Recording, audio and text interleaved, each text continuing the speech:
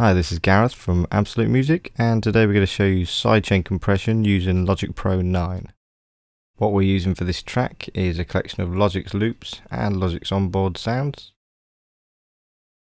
And all of the EQs, compressors, reverbs, limiters, etc. are all part of Logic's basic package.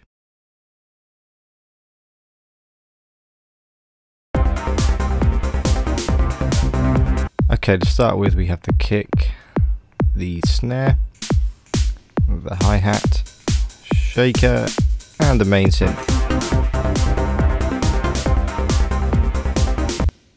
I've also set up a basic reverb using on this particular session bus 1 um, sending it to Space Designer which is set on a medium to large nice hall. Okay, the first thing we need to do is select which channels are actually going to be sent to an auxiliary. Across the auxiliary is going to be the compressor, which is going to be then triggered by our kick drum.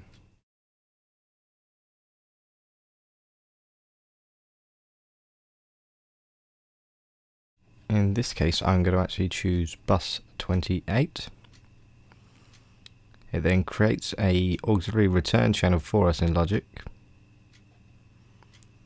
and across that on the insert section I'm going to choose a basic compressor.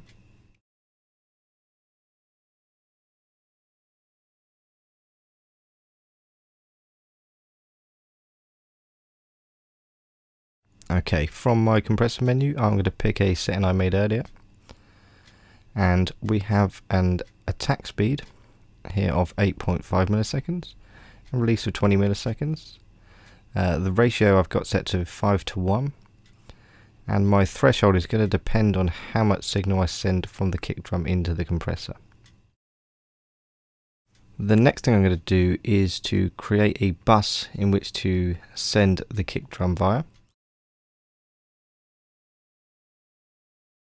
In this case I'm going to choose bus 9.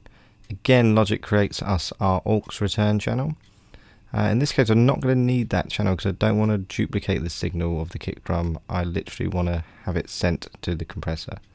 So I'm going to highlight that and I'm simply going to hit backspace in order to delete this. And delete anyway. Okay, the important thing with the bus here is to remember to put it to pre-fade as we want the signal to be sent before it reaches the fader, and not after. I'm then going to turn that bus up to approximately halfway.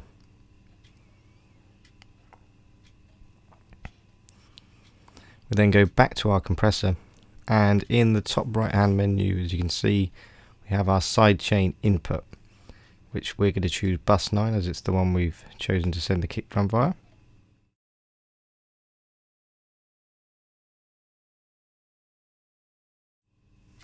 Okay, let's have a listen to how that sounds.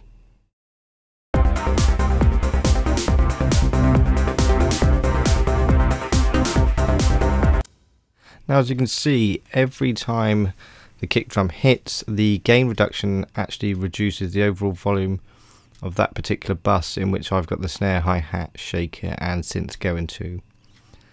The more extreme I bring down the threshold, the more extreme you can actually hear the effect.